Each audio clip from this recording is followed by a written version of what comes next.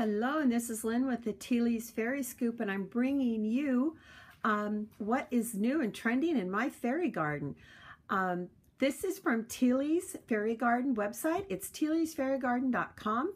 Uh, the link will be below. But this fairy garden is four years old, and I'm going to zoom in and show you some of my little goodies I have in my fairy garden. Right down here, I have a little gazing ball because fairies love to sit and look at gazing balls.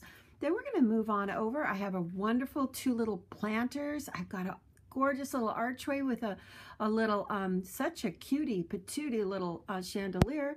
And then we're going to go over here. I have a little lantern. I have a little bicycle. And um, fairies love little baubles, so they keep putting little um, crystals in the basket of this uh, bicycle.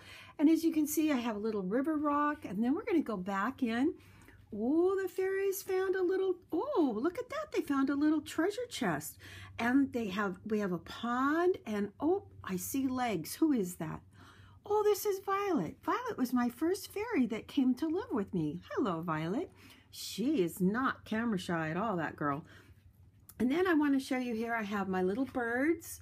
Yes, the fairies love little pets, so I have to tell you, that's pretty special. But back here, I have a little hidden pet. Oh, look at him. That's my little puppy. Yes, that's Joey and his doghouse and his little bone. Oh, hello, Joey. So that's one of the pets of, um, actually, one of the fairies.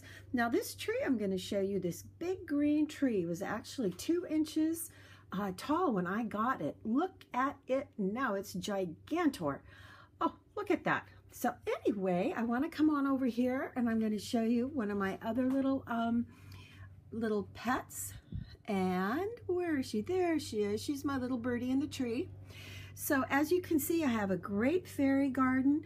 And um, this is a courtyard where the fairies sit and relax. And they have a little, um, well, that's a little bird bath. And with a little frog and, oops, there's their little wine bottles. Yes, they do have a nip once in a while. So, oh, I hear something. I hear some flapping. Now, I have to tell you something. If you have a fairy garden, oh, it's a flitter fairy. So if you have a fairy garden, get prepared. Flitter fairies are going to appear. Oh, is Daria, the flitter fairy. Oh, she is loving this fairy garden. Oh, but you have to be really careful because she gets spooked easy. Oh, look at her. She's looking at everything. I wonder if she's thinking of moving in. She's a forest fairy. Oh, she's so cute. Oh, oh, she, oh, she went away. Well, as always, thank you for stopping by. Tomorrow I'll bring you more from the uh, Fairy Scoop and I'll bring you more fairy goodies. Uh, we have so much to share with you. Anyway, have a fantastic day and go check out our website. I'll see you soon.